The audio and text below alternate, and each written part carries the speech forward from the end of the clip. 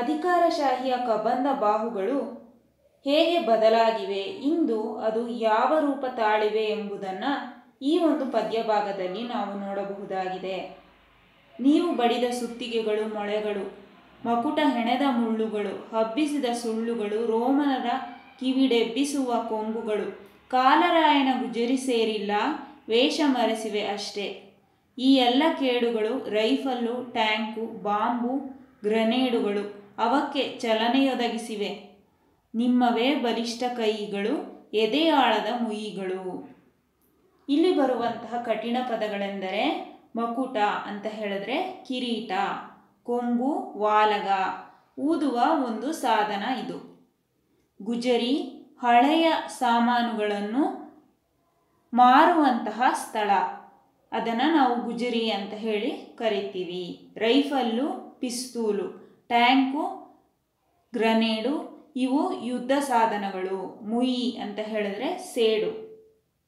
ಅಂದು ಅವನಿಗೆ ಹೊಡೆದ ಸುತ್ತಿಗೆ ಅಂತ ಹೇಳಿದ್ರೆ ಇಲ್ಲಿ ಏಸುವನ್ನು ಕುರಿತು ಹೇಳಲಾಗಿದೆ. ಏಸುವಿಗೆ ಹೊಡೆದಂತಹ ಸುತ್ತಿಗೆ ಮೊಳೆಗಳು, ತಲೆಗೆ ಇಟ್ಟಂತಹ ಮುಳ್ಳು ಕಿರೀಟ, ಹೇರಿದ ಸುಳ್ಳು ಆರೋಪಗಳು, ರೋಮನ್ನರಿಗೆ ಸತ್ಯ ತಿಳಿಯದಂತೆ ಎಬ್ಬಿಸಿದಂತಹ ಸುಳ್ಳು ಗದ್ದಲದ ಅಂದರೆ ಇಲ್ಲಿ ವಾಲಗದ ಸದ್ದು, ಇಂದಿಗೂ ಕೂಡ ಕಾಲಗರ್ಭವನ್ನು ಸೇರದೆ ಉಳಿದು ಬಂದಿವೆ. ಅದು ಬೇರೆ ರೂಪದಲ್ಲಿ ಮುಂದುವರೆದಿದೆ ಅಷ್ಟೇ. ಇಂದಿಗೂ ಕೂಡ ಅವು ವೇಷ ಮರೆಸಿಕೊಂಡು ಮುಗ್ಧರ ಮೇಲಿನ ಹಿಂಸೆಗಳಾಗಿ ಪರಿವರ್ತನೆಯಾಗಿದೆ ಎಂದು ಇಲ್ಲಿ ತಿಳಿಸಲಾಗಿದೆ. ಮೊಳೆ ಸುತ್ತಿಗೆ ಮುಳ್ಳುಗಳ ರೂಪದಲ್ಲಿ ಅಂದು ಅವರ ಕೈಲಿದ್ದದ್ದು ಇಂದು ಬೇರೆ ರೀತಿ ಬದಲಾಗಿದೆ. ಯಾವ ರೀತಿ ಬದಲಾಗಿವೆ? ರೈಫಲ್ಲು, ಟ್ಯಾಂಕು, ಬಾಂಬು, ಗ್ರನೇಡುಗಳ ರೂಪದಲ್ಲಿ ಬದಲಾಗಿವೆ.